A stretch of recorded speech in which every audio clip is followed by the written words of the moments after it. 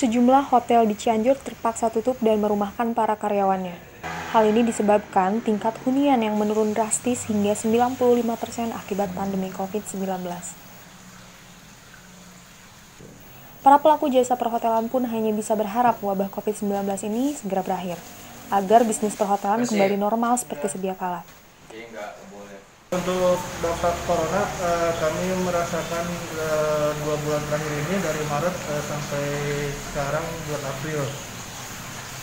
Itu suatu apa? Suatu penurunan drastis untuk untuk okupansi sekitar 95 persen.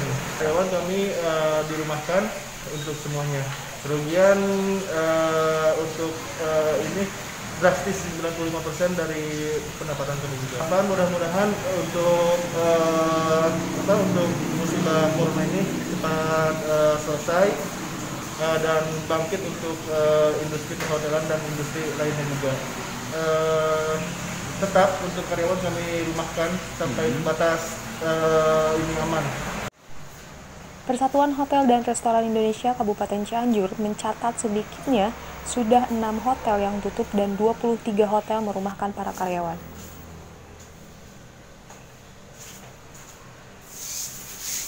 Kondisi sekarang eh, terkait eh, pandemi uh, corona pastinya sama seperti daerah-daerah lainnya.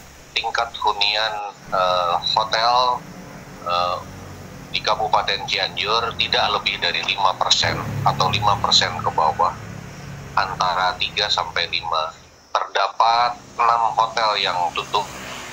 Kemudian sisa 20 eh, 23 hotel sudah merumahkan eh, karyawannya eh, 15 hari. Kami melihat sampai dengan akhir bulan April ini tentunya kekuatan usaha buat hingga prediksi kami uh, akhir April ini pun sudah sebagian pengusaha yang sudah menyatakan tidak kuat. Kekuatan paling terakhir bisa sampai di posisi bulan Juni. Namun demikian hotel walaupun dalam tingkat hunian uh, 3 sampai 5 persen mereka masih tetap mengharap ada tamu walaupun sedikit kamar yang terisi. Heri Febrianto, Cianjur Express mengabarkan.